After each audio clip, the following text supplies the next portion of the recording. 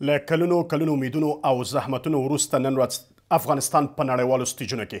هر کله چې خبر راسیږي ټول ورته سترګې پر لار وي چې د خوښیو څخه یو څه واوري د افغانستان د کرکټ ټیمونه نن ورځ هغه ټیمونه نه و چې وړاندې ول افغانستان نوم نن ورځ په نړیوالو ستیجونو کې کرکټ پورې تړل شوی دی. کله چې افغان لوبغاړي په نړیوالو ډګرونو کې لوبې کوي، افغانان ورته په تمه وي، کله ښه او کله بیا د افغانانو د خوښې خلاف. نن ورځ افغان لوبډله په نړیوال جام کې لوبېږي. یو ښه خبر دا دی چې او افغانان هم ورته خوښ دي، هغه دا دی چې د پاکستان د کرکټ ملي ټیم څخه د افغانستان د کرکټ ملي ټیم په دغه نړیوال جام کې لوبه ګټلې ده. سلام وخت په خیر خپرونې ته ښه راغلاست زما د نن شپې د خپرونې مېلمه د کرکټ بورډ عمومي مشر میرویس اشرف دی اشرف صاحب مننه چې وخت مو راکړی کور مو ودان عزتمن شي که بحث له دې راپیل کړو چې اول به د نړیوال جام ته وګرځو افغانستان په نړیوال جام کې د انګلستان او پاکستان څخه لوبه وګټله که څه هم تاسو ته اوس مسؤلیتونه هم درله غاړې دي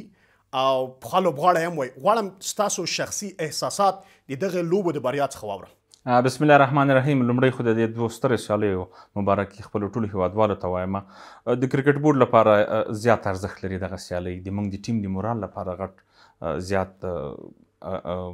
احسیت لري د لوبغاړو مورال هم ورسره لوړ شوی ده د هیوادوالو لپاره دغه یو په اصطلاح باندې یو ستر نوم دی یو ستر تاریخ جوړ شو ټول هیوادوال خوشحاله شول له ډېر پخوا نه دې موږ دغه ارمان وو، دغه هڅه مو وه چې څنګه به موږ غټ ټیمونه وهو، په نړیوال جام کې به څنګه ښه کارکردګي کوو، بالاخره د هېوادوالو د دعاو په برکت دا دی وتوانېدلو، اتلانو مو هېواد هېواد ته افغانستان ته اتلولي راوړله، دوه هېوادونه مو لومړی انګلستان بیا پاکستان. درست اوس به بحث له دې پیل کړو چې د افغانستان کرکټ بورډ ته چې تاسو راغلي یاستئ دوه کلم د ماموریت څخه تېرېږي،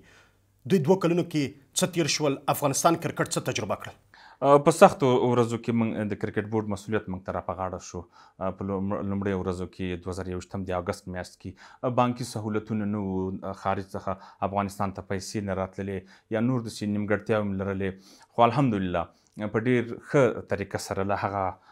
مشکلاتو نه موږ ووتلو بالاخره نتیجه یې دا ده اوس د دې موږ د دوه کلونو وروسته تاسو سره غواړم شریکه کړم په دې کې موږ اداري لاسته راوړنې لرو تخنیکي لاسته راوړنې لرو او مالي لاسته راوړنې لرو وروسته به په بحث وکړو درست ستاسو او د اجرایي رئیس ترمنځ روابط څنګه دي ځکه په تېرو کې د رئیس او د اجرایي رئیس ترمنځ روابطو ډېری خبرې درلودې تقریبا دوه کاله پوره کېږي د موږ د ماموریت یا دغه مسولیت چې موږ ته راسپارل شوی ده له نصیب خان سره سیو صاحب سره د موږ تر اوسه پورې داسې یو عادي نکته شخړه یا لفظ یا په بعضې موضوع کې اختلاف نه دی راغلی په کار پوه شخصیت دی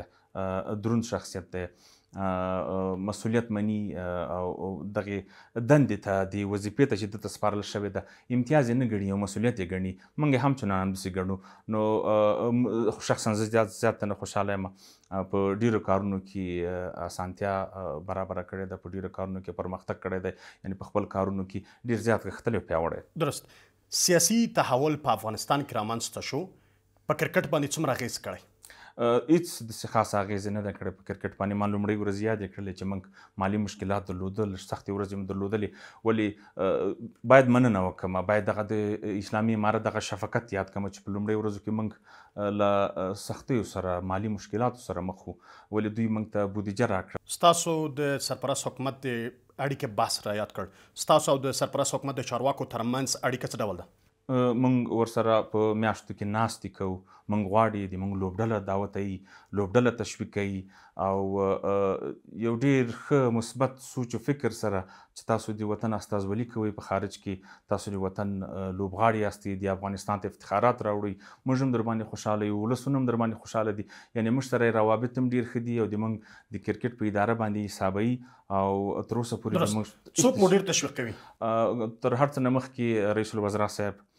د منګ رئیس دفتر ډاکټر صاحب واسي حواله اخلي پښتنه کوي تقریبا چې موږ کوم مشکل ولرو کوم ستونزه ولرو یا کوم څه پکاري په سخت ورځو کې هم دوی موږ سره او په خو ورځو کې هم دوی موږ سره ملګری دي خلیفہ صاحب د کرکټ زیات تشویق کوي لوبغاړو ته څو ځلې ملمستیاوې کړې دي معنوي او مالي مرستې یې هم ورسره کړې دي. متقي صاحب موږ تېر ځل دعوت کړي وو، موږ خپل حضور ته یې غوښتي وو، دوی مو تشویق کوي، یعنې ډېری ټول تقریباً ډېری مشران په دې اداره باندې، په دې لوبغاړو، په دې ټیم باندې ډېر زیات شفقت لري. درسته. یو څه چې نن ورځ هغه ګنګوسې او اوازې دي هغه دا دی چې د لوبغاړو او د ادارې تر منځ د روابطو بحث هر کله د خلکو په منځ کې دی. ستاسو او د لوبغاړو تر منځ اړیکې څه ډول دي؟ د موږ او د لوبغاړو تر منځ اړیکې ډېرې ښې دي. یو خو د ولسونو خبرې د افغانستان بعضې اشخاص داسې خبرې کوي طبعا کرکټ بورډ اداره لوبغاړي به هم داسې مخالفین لري داسې توطیه به کوي ولې د لوبغاړو ترمنځ د ادارې ترمنځ هیڅ داسې شی نشته هر څه مثبت هر څه ښه روان دي پایله یې تاسو وینئ چې همغږي نه وای هماهنګي نه وای اتفاق اتحاد نه وای موږ به دومره ستري بریاو ته دومره ستر لاسته راوړنې به موږ نه درلودلې په نړیوال سټیج باندې په نړیوال جام کې درست آی سی سی سره مو روابط څه ډول دي ډیر ښه دي آی سی سی هم خاص پاملرنه افغانستان ته کوي ما مخکې څو میاشتې مخکې موږ په بودیجه باندې بحث وکړه بودیجه هم د موږ زیاته شوې ده درې هیوادونو بودیجه تقریبا یو رقم ده په دې کې په افغانستان د آیرلنډ او زمبابوې د موږ بودیجه به انشاءالله یو رقمي د بودیجه کې هم موږ ته زیاتوالی کړی ده نور تخنیکي یا د بعضې سفرونو په اسانتیاو کې د مالی بعضې مرستو کې ټولو کې په دوه کلونو کې څه لاسته راوړنې لري د کرکټ بورډ په دغه اداره کې؟ په داسې شرایطو کې لکه څنګه چې موږ ته ما مخکې ویلو چې موږ ته مسولیت وسپارل شو ډېرې لاسته راوړنې لرو نسبت د پخوا په حساب باندې موږ دلته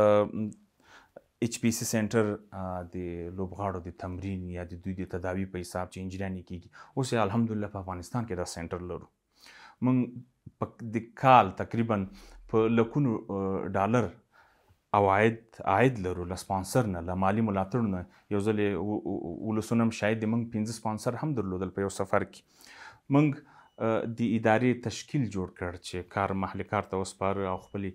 کوم دوی چې لایحه وظایف و هغه مرته وسپارل چې د موږ د ادارې به څومره تعداد تشکیل وي دا پخوا موږ نه درلود اوس جوړ داخلي کرکټ هم زیات کړ زرغون جام یو بیلګه ده تری ډې کرکټ یا درې ورځنی کرکټ چې د هغه بل بیلګه ده تقریبا درې ټورنمنټونه موږ زیات کړل اشرف صاحب که نړیوال جام تر وګرځم د پاکستان او د انګلستان ټیمونو ته د ماتې ورکولو راز مو په څه کې دی مخکې مې د اتفاق اتحاد خبره وکړه د یونټي خبره مې وکړله د همغږي خبره مې وکړله پخوا هم دغه موږ درلوده په ټیم کې وو د افغانستان یو جذبه د افغانانو لوبغاړو په منځ کې چې وطن او هیواد ته لوبه کول دا ځل هغه فیصدي ډیره زیاته ولیدل شوله په سکرین باندې موږ چې اول اخیستم هغه زیاته لامل دغه شو چې دوی ښه پرفارمنس وړاندې کړ دوی ښه کارکردګي وړاندې کړله انګلستان هم مات کړ د هغه نه بعد هم پسې پاکستان مات کړ الحمدلله اوس د موږ بیټنګ ډیر زیات ښه شوی ده که وګورو په درې سره مسابقو کې موږ د انډیا د هندستان خلاف 215 منډې وکړلې د انګلستان خلاف هم 215 اتیا وکړلې بیا مو دوه سوه درې اتیا ډېر کامیابه چیس یعنی هغه منډې مو په دوی پسې په پاکستان غوندې هېواد پسې پوره کړل دی څرګنده ده چې د موږ بیټینګ هم ډېر ښه شوی ده د بالینګ ترڅنګ درست یو څه چې د لوبډلمشر د ټاکل کېدو لپاره اصول څه دي ځکه دا په داسې حال کې ده چې په لوبډلمشر حشمت الله شهیدي باندې نن ورځ نیوکې شته؟ نیوکې بالکل به افغانستان د ولسونه له کرکټ سره مینه لري طبعا لږ څه جذباتي هم دي د اشمت په کپتانۍ کې موږ سیریزونه ګټلې دي موږ سریلانکا ته شکست ورک سریلانکا سیریز موږ سره ټای کې وبخه بنگلاديش نه بنگلاديش کې وګټه اوس دغه نړیوال جام کې سیالي ګوري تاسو د موږ د راتګ نمخ کې هم اشمت شهیدي کپتان وو موږ چې راغدلو هم دایمو د کپتان په صفت پریخو د موږ د عصمت شهیدي په کپتاني کې مستقیماً نړیوال جام ته ووتلو، موږ له زمبابوې نه په زمبابوې کې سیریز وګټه، پنځوس اووریزه، موږ له نېدرلنډ نه په قطر کې سیریز وګټه، یوه مسابقه موږ د سوپر لیګ یوه مو دوه مو وبایللې، یوه مو وګټله په بنګله دیش سره په بنګله دیش کې یو د خپل شخصي پرفارمنس هم ورسره ښه دی د ټیم پرفارمنس هم ښه دی اوس ماشاءالله لوبغاړي هم ورسره همت کوي ټول په یو صفحه دي په یو پیج دي او نتیجه یې ماشاءالله تاسو وینئ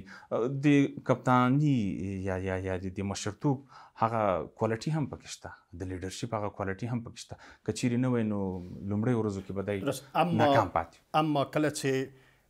ځکه لوبه هم ګټل لري او هم بایلل لري کله چې لوبه وبایلل شي ډیری نیوکې کیږي په لوبډلمشر باندې ویل کیږي چې د همغږي د لوبغاړو ترمنځ نشته تاسې تاییدوئ چې همغږي نشته؟ اوس شکر شته اوس شته پخوا هم وه. د سلکشن باندې هم بحث او خبرې هر کله د ولس له خوا کېږي کله چې ټیمون انتخابېږي خلک ورباندې بحث کوي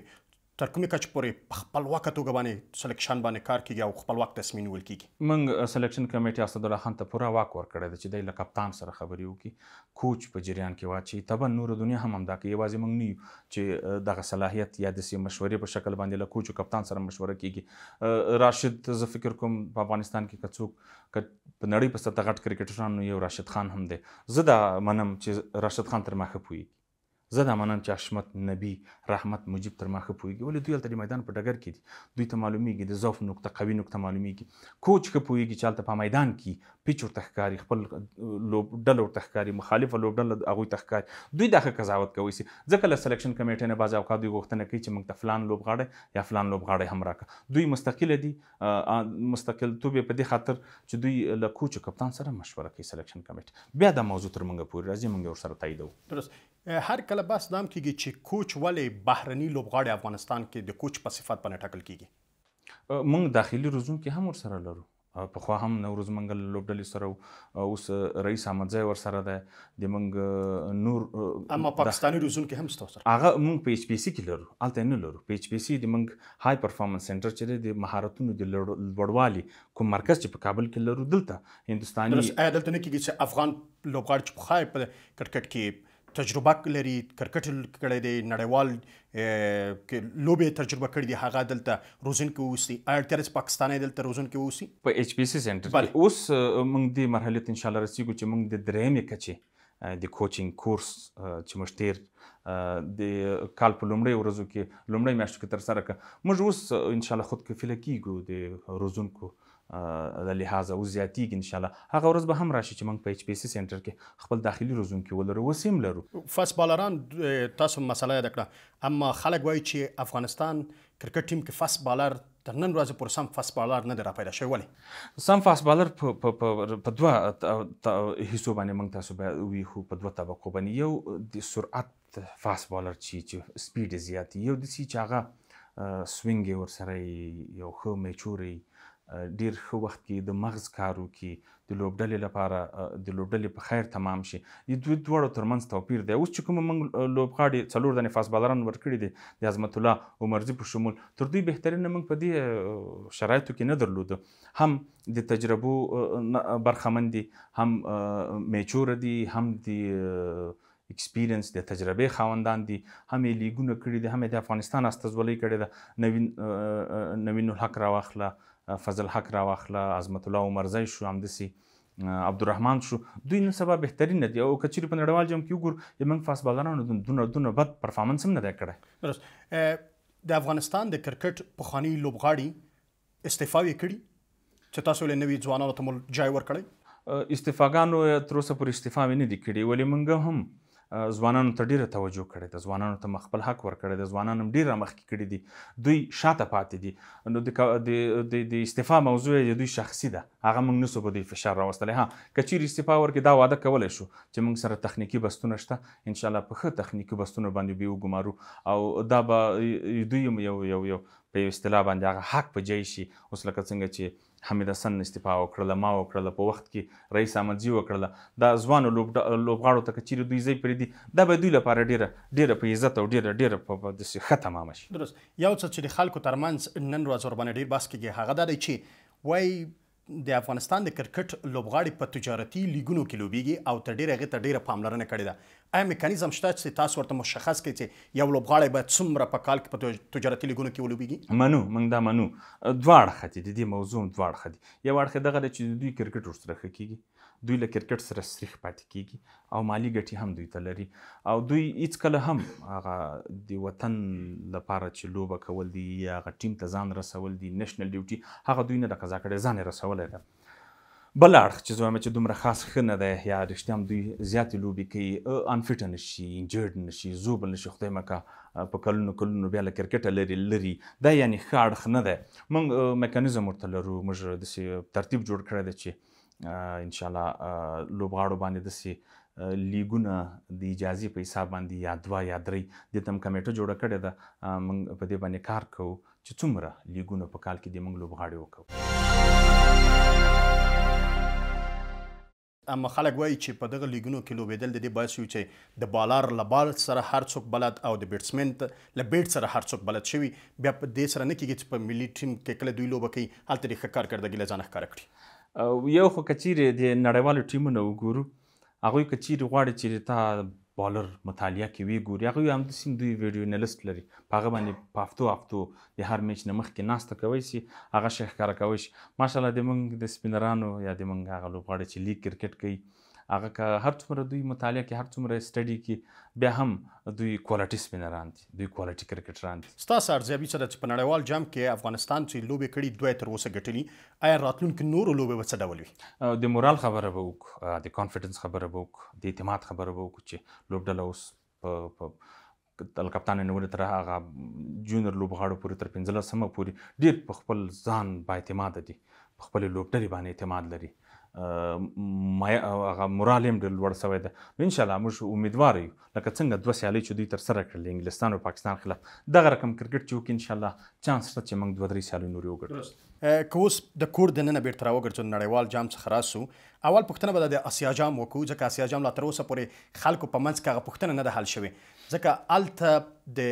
لوبغاړو په شتون د رهبرۍ په شتون سره د افغانستان په وړاندې باندې بل ډول پرېکړه وشوه تاسو دغه پرېکړه منئ او که نه منئ او په وړاندې باندې څه کوئ؟ موږ اوس هم له هغه ای سي سي سره په دې مورد باندې لګیا یو، یو دوه ناستې هم وکړلې، ایمیلونه هم سره تبادله کړي دي او دلته دننه په داخل کې هم دې دې دې موضوع لپاره کمېټه ګمارلې ده چې نتیجه به یا ریزلټ به ان شاءالله هیوادوالو سره شریک کو چې سهوه اشتباه د چا وه ایا د ویډیونلیست وه د سر روزونکي وه د نورو روزونکو وه ایا الته کوم تخنیکی کارمندان چې د دې کمیټې یا د دې ټورنمنت هغوی د سه سهوه کړې وه دا هر څه به رامعلوم شي ای پی ایل په اړه باندې څه ډول ای پی ایل وضعیت څه ډول دی لوبې څه ډول دي ای پي ایل ته موږ ای پي ایل اعلان ته ورکړی چې اوس ډیر غټ شرکتونه هغوی دغه پروپوزل یا پیشنهادونه را لېږلي دي دوی دلچسپي لري چې موږ سره یو ځای لاړ شي یا دغه ټول لیګ موږ نه واخلي یا د پارټنر یا د یو ملګري په صفت باندې موږ سره مخکې لاړ شي هغه ته هم کمیټه لرو کمیټه مو جوړه کړې لوبي به سږ کال خو نشو کولای څه رقم چې خپل هغه شیډول ګورو یا څنګه چې لوبي ګورو دغه لوبو نه بعد نورې لوبې لرو را روان کال ته به ان شاء الله ای پی ایل کیږي دا خو بیا د څه رقم چې موږ مخکې ویل چې چا سره زو کوم شرکت سره نو دوه درې هیوادونه موږ په نظر کې لرو لکه عمان قطر او امارات ان شاء الله په دې هیوادونو کې وکړي درست افغانستان باید د جنو لوبو کوربتوب وکړي ایا دا هم په پلان کې شته چې د نړیوالو لوبو کوربتوب وکړئ؟ کوربتوب به انشاءالله کوو، د کابل میدان چې کله انشاءالله جوړ شي په خیر سره موږ ته دغه ځمکه په دې نږدې ورځو کې وسپارل شوله، اسناد یې خلاص شو، اته یې مراحل یې خلاص شو، د اداره امور له طرف نه تر ښاروالۍ خلاص شول، هغه ورځ موږ تللي وو هغه حدودونه معلوم کړه چې دغه د موږ نړیوال معیاري میدان جوړ شي په سټنډرډ ان شاء الله هغه ورځ هم لري نه ده چې خارجي هیوادونه هم دعوت کوو په افغانستان کې سیالي ترسره کړي نور میدانونه هم لرو نور میدانونه هم لرو داسې په دې کې داسې سوال چاته پیدا نه شي چې ولې نور میدانونه نه لرو ولې داسې سټنډرډ میدان نه لرو لکه په خارج کې چې د ننګرهار کې ښه میدان لرو د نجیب تاریخ میدان دی اوس کار په شروع دی غازي امان الله خان میدان لرو کندهار کې میدان لرو خوست کې لرو په ډیری ولایتونو کې لرو ولې هغه څه سټنډرډ بین المللي میدان نه لرو ولې هوډ لرو چې ان شاء الله په راتلونکي څو کلونو کې به موږ نړیوال میدان خاوندان هم شو بودیجه ورته لرو پیسه ورته لرو داسې په څلورو مرحلو یا درې څلور کلونو کې به انشاءالله هغه غټه پروژه ده هغه هم سرته ورسي یعنی په بهرنیو هیوادونو کې کوربتوب نه کوي اوس حل نشته مجبور یو پخوا هم په خارجي هیوادونو کې کوربتوب کوو اوس هم کوو لکه په اماراتو کې یا عمان کې یا قطر کې هندوستان کې پخوا هم موږ کوربتوب خارج کې کوو اوس هم خپل ته کوو درست یو مسله د 19 کلن د ټیم باندې به هم بحث وکړو اوس مهال د 19 کلن ټیم په څه ډول وضعیت کې دی 19 کلن لوبډله په کندهار کې تر قرنطین لاندې تمرینات تر سره کوي کوچز دی ور سره سہولتونه مرته برابر کړی دي چې آسیایي جام ته ښه تیاری ونیس ولې تیر سفر یې کیات کو ډیر کامیاب سفر یو بنګلادیش نه مسابقې وګټلې، سرلنکې نه هم وګټلې، پوره تمرکز موږ او فوکس مو په نولس کلنو لوبډلو هم ده چې ښه منظمه لوبډله تیاره کو اماده کو ښه تمرین یې هم وشي او ټول سهولتونه ورته اماده او میسر کړو. درست اما یو څه چې ویل کېږي هلته د ټیم کې د هلکانو د دوه پاسپورتونو مسئله هم یادیږي ویل کیږي چې عمرونه یې پکې خپل راټیټ کړي دي ولې دوه پاسپورتونه هلکانو ته اجازه ورکوي چې کرکټ ولوبوي. موږ اجازه نه ده ورته ورکړې یا موږ دغه نه ده کړې لوبغاړو خپله که یو پاسپورت دوه جوړ کړي خو هغه بیا موږ پیدا کړه چې چا او چا دغه پاسپورتونه دوه جوړ کړي دي عمرونه یې پکې تغیر کړي شپږو هلکانو هغه موږ لرې کړه موږ هم ډار درلود چې آی سي سي موږ سره سبا د موږ د نولس کلنو کرکټ باندې بندیز ونه لګوي نو په دې خاطر دوه پاسپورټه یا چا چې عمرونه واړه کړي یا غټ کړي وو هغه مو بیا له دې ډلې یا د دې پنځه ویشتو له دې ترکیب نه لرې کړل. درست د ابدالیان د ټیم مسئله اوس مهال دا ټیم په څه باندې بوخت دی؟ ابدالیانو خو اوس سفر درلود عمان سره هم پنځه شل ورځې وکړلې دوه مو پنځوس ورځې سیالۍ وکړلې موږ ابدالیانو ټیم باندې کار کوو په ایچ پي سي کې مو ورباندې کار کوو بعضې لوبغاړي یې رخلو ملي لوبډلې په کمپونو کې هم اچو دغه د موږ د ملي ټیم په وخت سره باک اپ کېدلی شي یو ښه ځای ناست دی دغه لوبغاړي کېدلی شي دا لوبغاړي چې په ابدالیانو کې لوبه کوي دا بهترین پرفارمران دي بهترین پرفارمنس او کارکردګي په دې څو کلونو کې په داخلي کرکټ کې کړې ده حق جوړیږي ان شاء الله موږ به حق ورته ورکوو چې دوی لا زیات ښه شي لا زیات میچور شي لا زیات د تجربې خاوندان شي ما مخکې هم ویلي چې کار به ورباندې نور هم زیات کوو اوس هم هم ټیم ته بعضې لوبغاړي تېنه موږ ورکړي دي نور به هم تېنه ورته ملي ټیم ته ورکوو بعضې به کیمپونو ته ورکوو چې دوی لا زیات پیاوړي شي درست خلک وایي چې د افغانستان د کرکټ ځینې لوبغاړي چې لوبه وکړي بیرته افغانستان ته نه راګرځي ولې دغه تاسو خبرې ورسره کړي لوبغاړو سره افغانستان ته نه راځي نه راځي تقریبا ټول راځي ابراهیم مجیب دا ټول اما خلک وایي د راشد خان او د نبی خبره ډېر مطرح دي راشد خان تر اوسه پورې نه راغلی نبی ګوره د هغه څو میاشتې مخکې هم راغلی یو ژمنه یې کړې وه چې زه دلته یو هسپتال جوړوم یا شفاخانه جوړوم هم راغلی و اما خلک راشد خان ته ډېر راشد خو دومره ډېر مصروفه دی چې هغه شاید کور ته هم دونه وخت نشي ورکولی چې خپل فامیل ته وخت ورکړي نن دغه لیک دی سبا هغه لیک دی او اشتهارونه هم کوي یعنې دغه دغه تلویزیوني تلویزیوني هغه چی وی دغه اعلانونه کوي تلویزیوني تلویزیوني اعلانونه هم کوي یعنی ډیر مصروف دی او فټنس او تمرین هم ډیر زیات کوي او سو خلک همدغه ته په تاسو نیوکه کوي چې ولې اجازه ورکوي چې په دومره کچه نړیوالو لیګونو کې مصروف دی چې حتی افغانستان ته یو ځل نشي راتلی خو بیرته پرفارمنس هم ښه دی او که وګورو په شل ورځو کې پنځو سو ورځو کې مونږ د پرفارمنس سره کار دی مونږ د فټنس سره کار دی ماشاءالله ای ون دی تر ټولو اما خلک وایي چې هغه راشد چې هغه بال په خاکه و هغه بال سره نن ټول بلد یو نن ورځ هغه ډول چې دای باید ویکټي واخلي نه کیږي. او پرفارمنس یې ښه دی اورال چې د پرفارمنس وګورو یو دوه او درې څلور همیشه اوټه یي صحیح ده. کرکټ سره د ستاسو ادارې سره اړیکې څه ډول دي؟ ډېرې ښې دي ډېرې ښې دي موږ ادارې سره ځکه د خلکو ترمنځ روایتونه بېلابېل دي. تاسو دوی ټویټونه کتلای شئ د راشد چې ادارې نه حمایت کړی د کرکټ. لوبغاړو نه حمایت کوي دننه کپتان سره ډیره مرسته ده لوبغاړو سره ډیره مرسته ده ډیره تشویقي خصوصا نوي ځوانان ابراهیم ډیر تشویقي فضل ډیر تشویقي عظمت الله ډیر تشویقي ډیر کار ور سره کوي سپین ډپارټمنټ کې کوم بالران چې هغه سره ډیره مرسته کوي اړیکې موږ سره هم ډیره کیدي لوبډلې سره هم ډیر ښه دي او الحمدلله مونږ یې دله پرفارمنس نه هم راضي یو. اما ولس هم ورسره ډیره مینه لري او غوښتنه یې همدا ده چې راوګرځي. ما مخکې ویلي چې که دنیا بسته ته پنځه غټ ستوري سوپر سټاران یې په هغه کې یو راشد خان. مننه. نړیوال جام کې لوبیدل او بیا دلوبو ګټل څومره په وضعیت د افغانستان او د کرکټ بورډ باندې تاثیر کوي. د موږ د موږ د په